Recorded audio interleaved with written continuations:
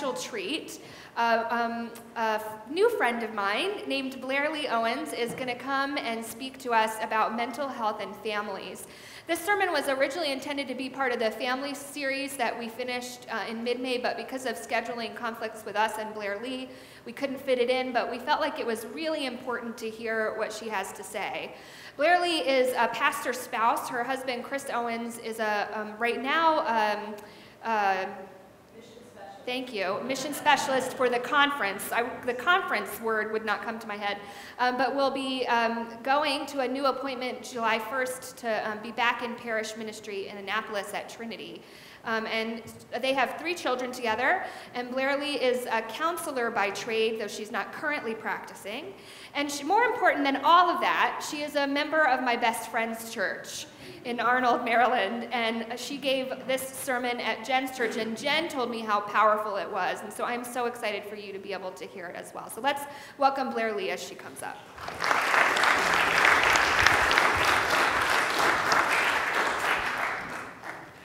Good morning.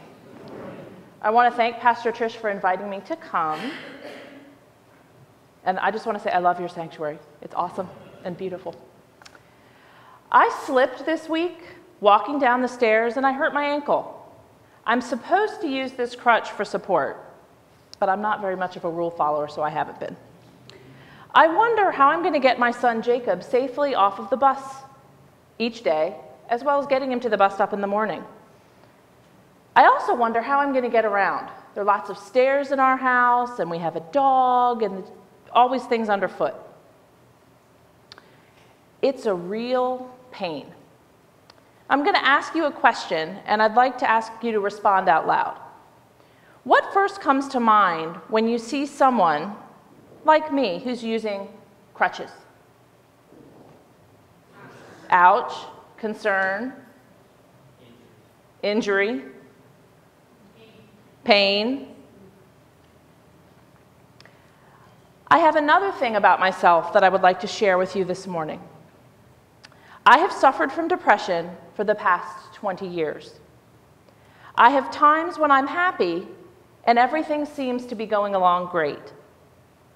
But then I have times when I feel like I'm in a dark hole and that there's very little light coming in. It is hard to get up in the morning and it's hard to get motivated to do anything. I feel like I'm just going through the motions. I have learned over the years how to put on a happy face, no matter what. Now, I have another question. What first comes to mind when you hear someone say that they suffer from depression? Sadness, darkness, loneliness, desperation, good word, illness. Now, I want to be honest with you. I really haven't hurt my ankle, and I haven't suffered from depression for 20 years. And I'm going to get rid of that because it's going to get on my nerves. I wanted to use these two examples to illustrate how differently we respond sometimes to someone who has a physical ailment versus someone who has a mental illness. As a pastoral counselor, I have worked with many people who are affected by mental illness. So let's talk about mental illness. What is it? A mental illness is a medical condition that disrupts a person's thinking, feeling, mood, ability to relate to others, and daily functioning. Just as diabetes is a disorder of the pancreas, mental illnesses are medical conditions that affect the brain and often result in difficulty coping with the ordinary demands of everyday life. Mental illnesses include depression, schizophrenia, bipolar disorder, obsessive compulsive disorder or OCD, panic disorder, post traumatic stress disorder, otherwise known as PTSD, seasonal affective disorder, autism spectrum disorders, anxiety disorders, as well as ADHD or attention deficit hyperactivity disorder. The good news about mental illness is that recovery is possible. Mental illnesses can affect persons of any age, race, religion, or income. Mental illnesses are not the result of personal weakness, lack of character, or poor upbringing. They are not a condition that a person chooses to have or not have. No one should feel ashamed of a mental illness more than any other medical condition. Most people diagnosed with a mental illness can experience relief from their symptoms by actively participating in an individual treatment plan. The treatment plan may include individual or group therapy, medication, and sometimes hospitalization as well. As people become more familiar with their condition, they recognize their own unique patterns of behavior. If individuals can recognize these signs and seek effective and timely care, they can often prevent relapses. However, because mental illness has no cure, treatment must be continuous. Recovery is a process, not an event.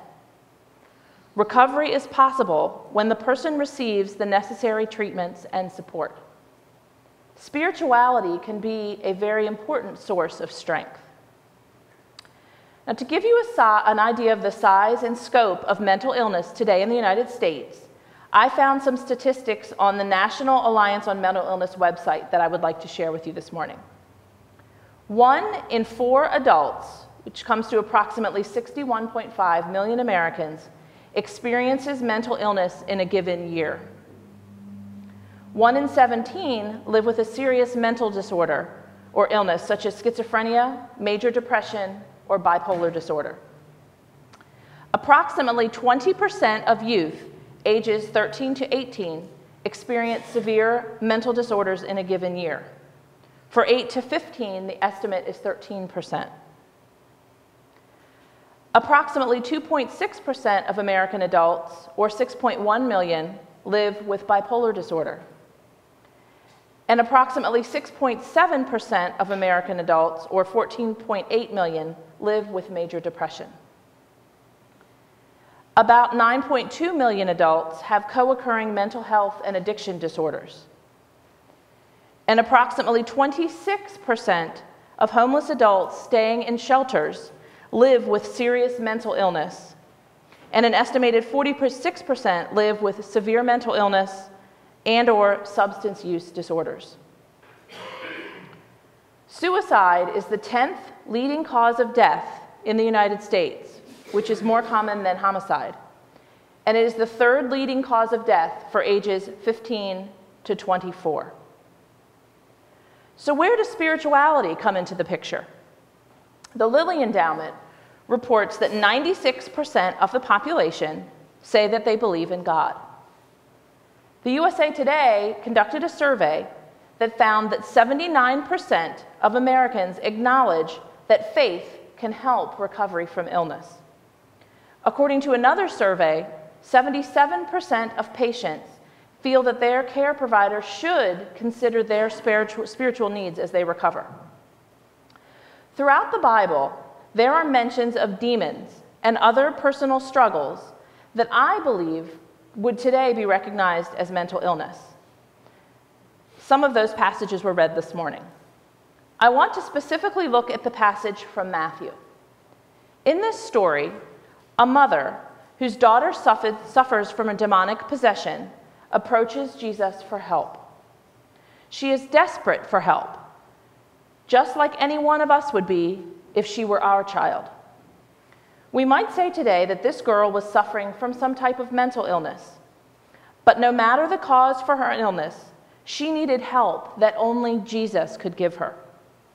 This girl's mother displayed the first step towards anyone's healing hope. Now, also notice that this girl was not healing right away.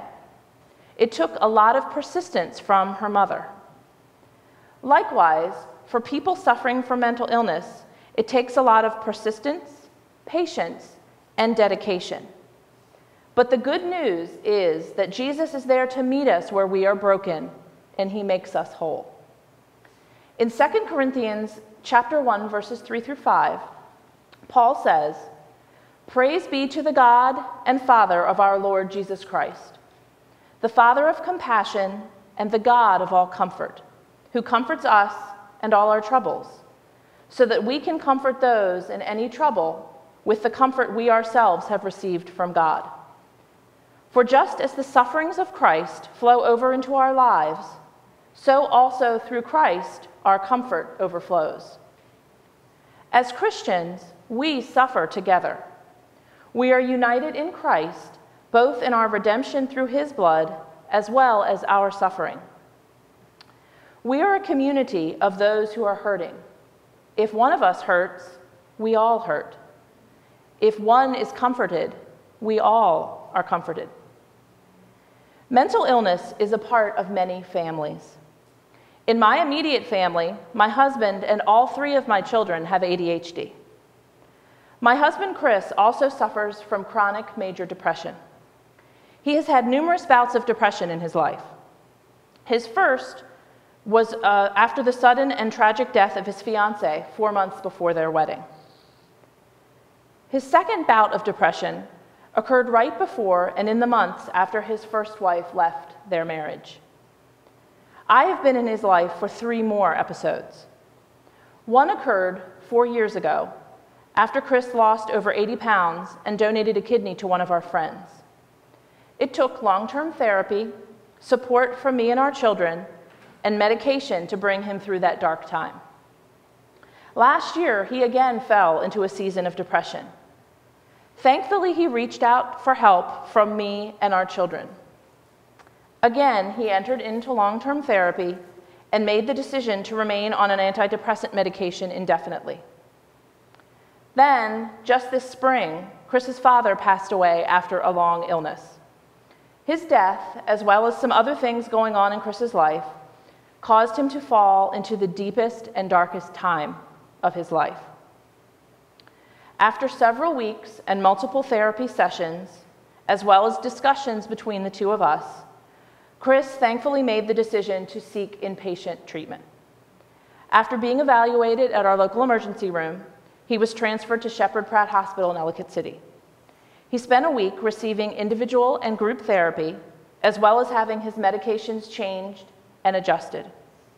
He is doing better now and continues to be followed by a psychiatrist, a therapist, his primary care physician, and our great physician, God.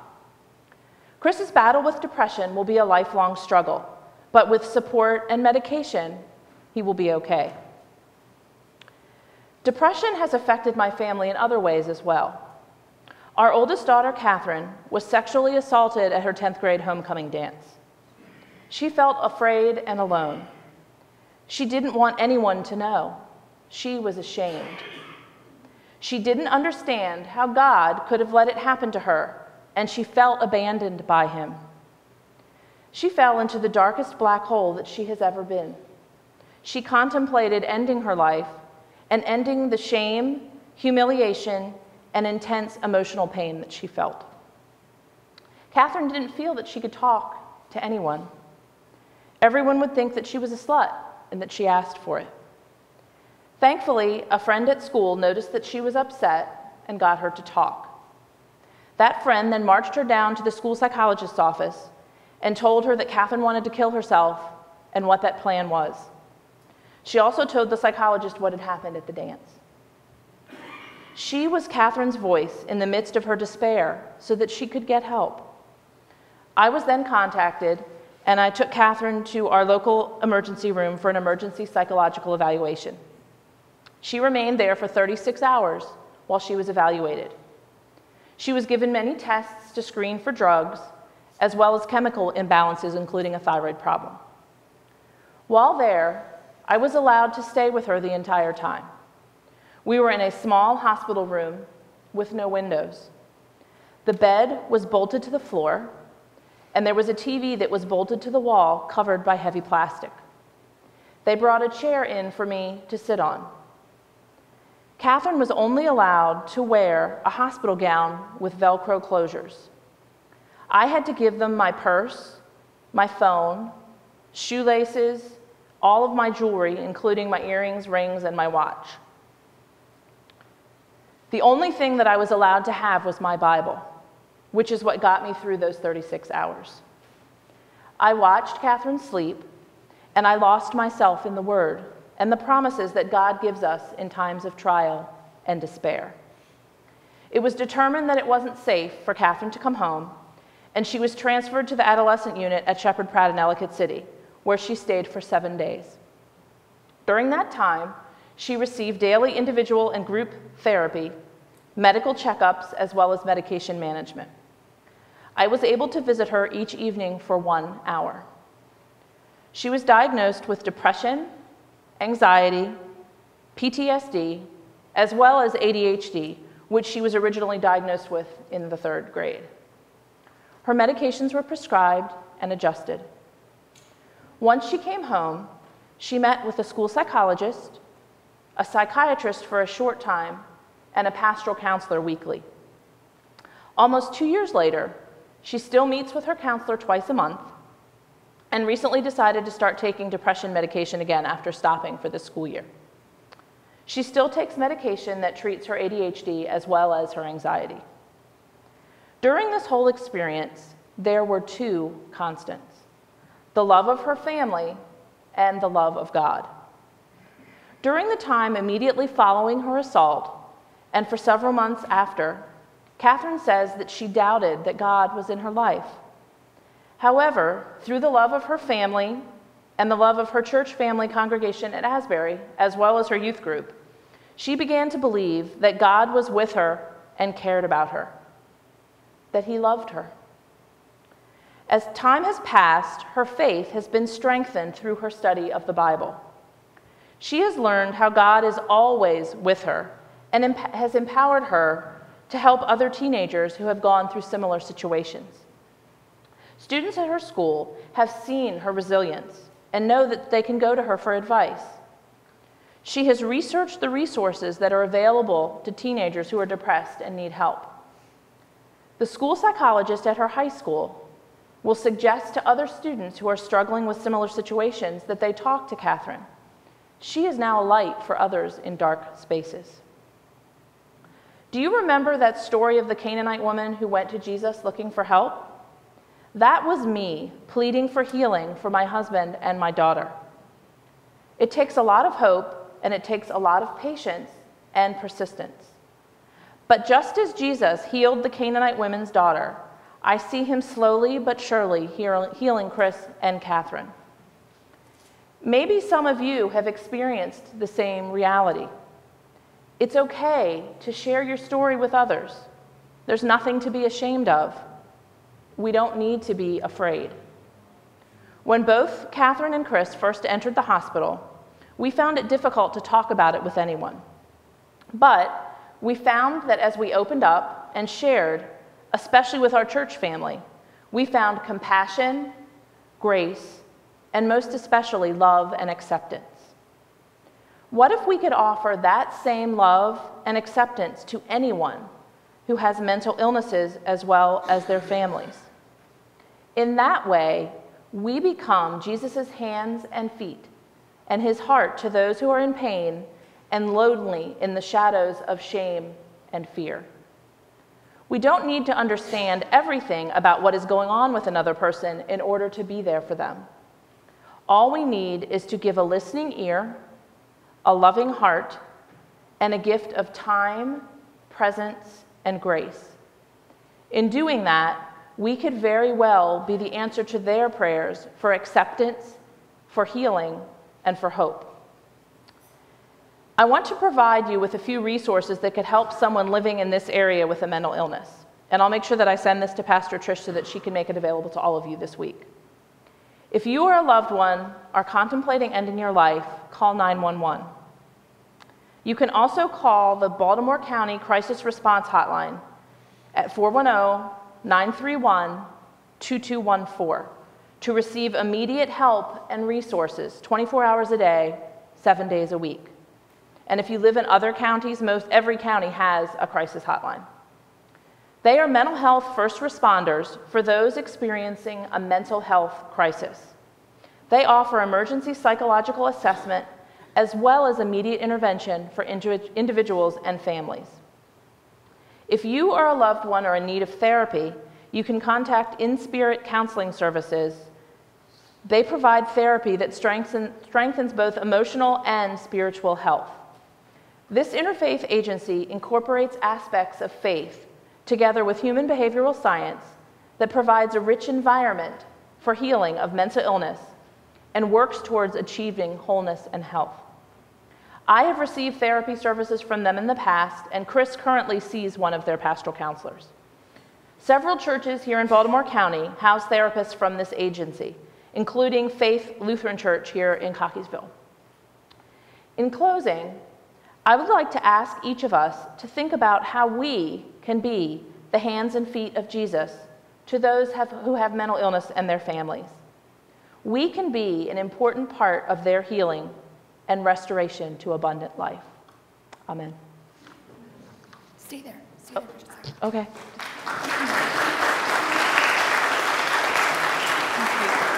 Okay, I'm really sweaty, sorry. Okay, it's okay. Um, so I just give such thanks um, to Blairlee and to her family who gave her permission to share those stories. It's really hard to share. So I just wanted us to um, take a minute to pray for Blairlee and for Chris and Catherine and for all of their family and for those uh, who suffer with mental illness. So let's pray together. God, I give you thanks for this woman of faith, and I thank you for her family and for the gifts that you are pouring out on the world through them. We thank you, God, for um, their witness to um, your healing grace in all aspects of their lives.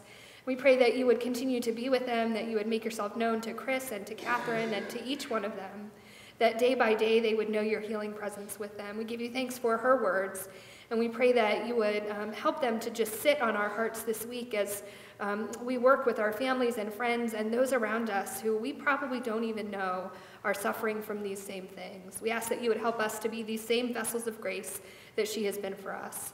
And we pray these things in the name of Christ our Savior. Amen. Amen. Thank you. You're welcome.